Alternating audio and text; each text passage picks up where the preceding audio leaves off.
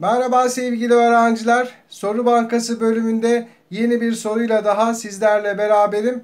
Hemen soruyu okuyarak başlıyorum. Ebru'nun evi ile market arası uzaklık 950 metredir. Ebru evden markete gitmiş, süt alıp eve dönerken eve 243 metre kala ekmek almayı unuttuğunu hatırlayıp tekrar markete dönmüş ve ekmeği alıp eve gelmiştir. Ebru kaç metre yürümüştür? Şimdi 950 metre ilk önce yürüdü. Oradan marketten sütü aldı ve geriye dönüyordu. Fakat bir yere geldiğinde örneğin şuraya çizelim. Şuraya geldiğinde ekmek alması gerektiğini hatırladı ve geriye döndü. Peki neredeydi bu? Eve dönerken eve 243 metre kalmıştı. Değil mi? Burada öyle diyor.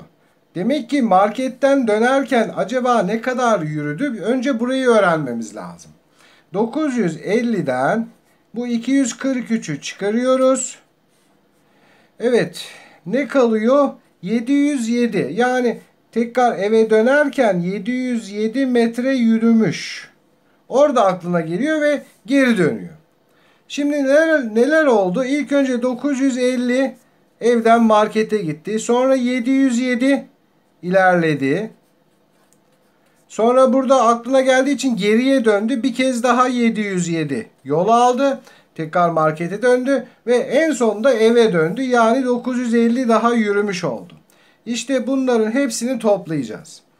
7 7 daha 14 elde var 1 6 oldu 5 daha 11 elde var 1 10 17 24 9 daha 33. Yani toplamda 3314 metre yürümüş oldu. Cevap D şıkkı oldu.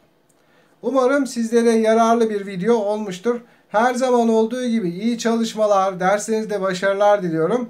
Başka videolarda görüşmek ümidiyle. Hoşçakalın.